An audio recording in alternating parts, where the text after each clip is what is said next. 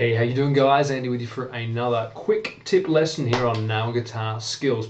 Today I want to talk about something very simple that all professional guitarists know about and many amateurs don't. So I'm going to induct you to it if you're not aware of it already. And it is simply the use of your volume knob. A lot of people get there and go, okay, well it controls how loud my guitar is. Here's the secret about it though.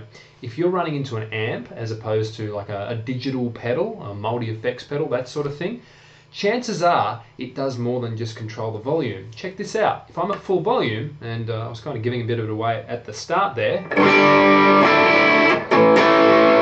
pretty crunchy sound, pretty high distortion. Look what happens though when I wind it back.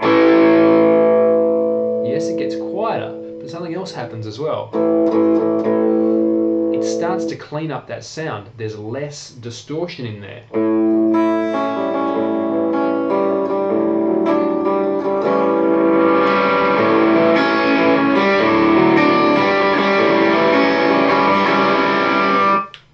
This is going to vary a lot from guitar to guitar.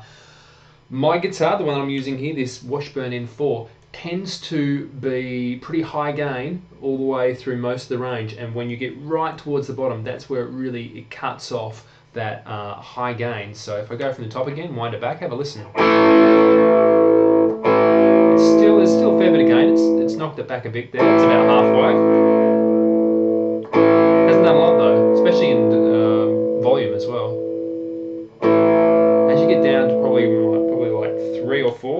There's about there's zero there. A little bit of gain there. Really starts to kick in. And there's a certain beauty about that half gain sort of sound that is really hard to achieve with pedals. And the great thing is, you can go between those two sounds by what is known as riding the volume, and you'll see professional guitarists do this all the time because you don't have to be stamping on other pedals and there's a certain quality to that sort of distortion that halfway gain that you know you just can't quite get from turning down your distortion on your pedal because it has a different effect when you do it with your volume knob here. Now I was mentioning earlier you can't really do this with multi-effects.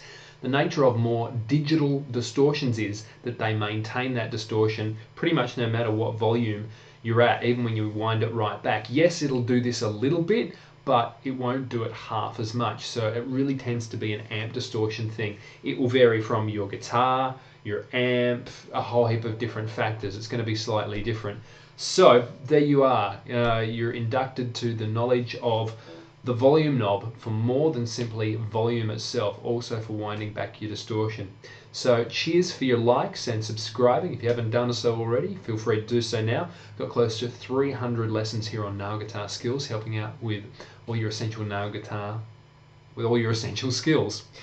And uh, heaps more coming up your way soon. If you would like to learn the uh, the art of volume fades, using volume fades, uh, riding the volume there, check out the Nail Guitar VIP, where uh, in that I send out a new lesson each week, special VIP lesson, not available here on YouTube, and uh, I teach a new, cool, fun skill each week on there, and uh, in that I cover the whole thing of volume fades, which is a really cool skill to get going as well.